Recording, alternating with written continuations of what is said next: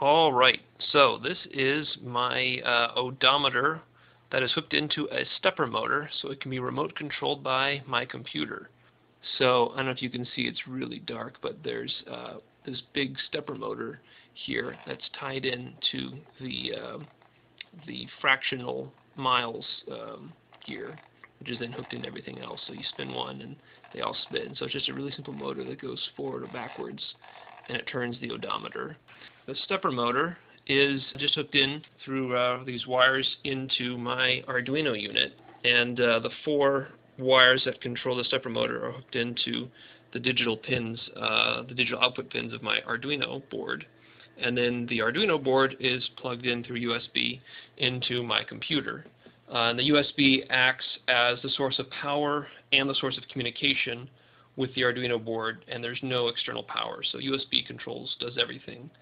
Uh, the way that uh, the computer communicates with the Arduino board is through Python, and I'm using the PySerial uh, module to uh, communicate with the with the board. Um, and then on the Arduino side, there's a program that can then read the serial and interpret values. Uh, so I have the program right here that's running the Python script that's using PySerial, and it prompts the user to enter the current position of the odometer. Uh, because this is an open loop system, we don't actually know what the odometer is. We just sort of use dead reckoning to try and remember where the odometer was and then move it uh, as needed. So if we look at the odometer uh, where it stands right now, um, it is at 1515.5.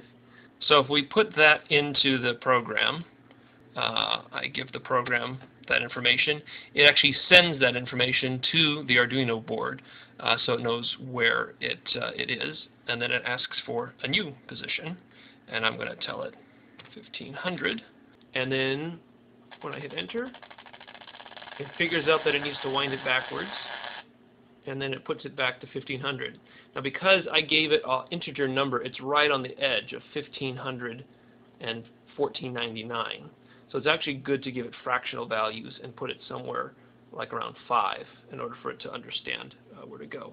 Then we say we want to go to, let's pick a uh, far away number. Let's go to 1623.7. And so you'll see it starts rotating up and it starts off kind of slow but then speeds up pretty quickly. That's just to give the gears a little bit of time to adjust to the change in speed because uh, in as much as we try and reduce friction, there still is a, a friction problem. And it is going to be there soon, and there it is. So 1623 point, we can't really see it, 0.7. So it does get a little bit off. Um, so and, and it will drift over time.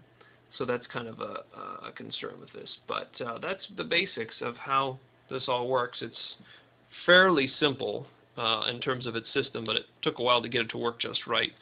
So that's uh, sort of the gist of it, just a quick overview of uh, how I'm controlling an odometer with Python. Thanks.